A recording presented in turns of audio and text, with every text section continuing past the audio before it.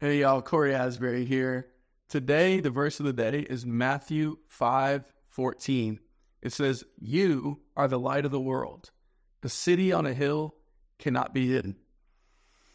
What an incredible, immense privilege that we get to be the light of the world. We get to be ambassadors of Christ. We get to carry Christ to a, a very broken and a very dark world.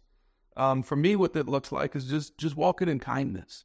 Uh, when I go to the gas station, I walk in, I actually get the gas from the cash register person, and I look that person in the eyes, and uh, maybe I'll ask how they're doing, ask how their days go, maybe if I can pray for them. You know, simple things like that. We actually get to show the light and the love of Jesus to regular people, to to broken people, to lost people, to to people who are you know, as as the Bible says, in darkness still.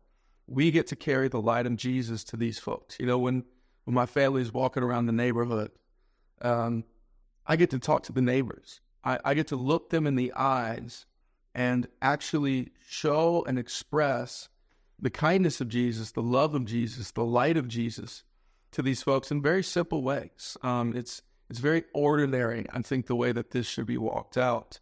Um, but it is an incredible responsibility. It's an incredible privilege that we, the people of God, are the light of the world, uh, a city on a hill that cannot be hidden. Um, so as you go about your days, keep that in your heart, keep that in your mind.